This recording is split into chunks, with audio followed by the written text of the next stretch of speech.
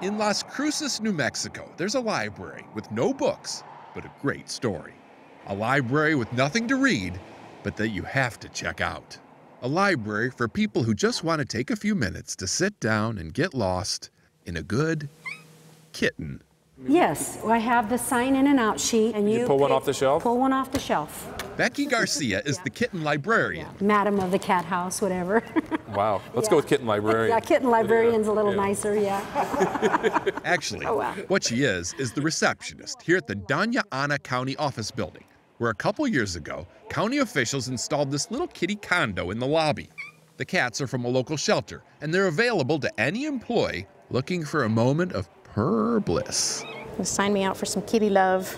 Angela Roberson is a community planner and a regular at the Kitty Library. Oh, oh, you're typing for me, kitty. She readily admits that her productivity goes down during these brief sessions, but says her job oh, satisfaction goes way up. It definitely relieves stress. I mean, how, how could it not when you have a little fuzzy thing that you can take back to your office?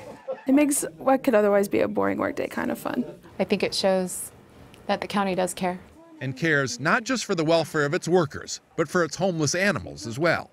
See, when the county set this up, it had a secret agenda.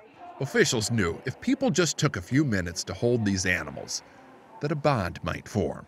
And in fact, to date, 100 kittens have been adopted from the library. The joy, the smiles. I've seen so many smiles.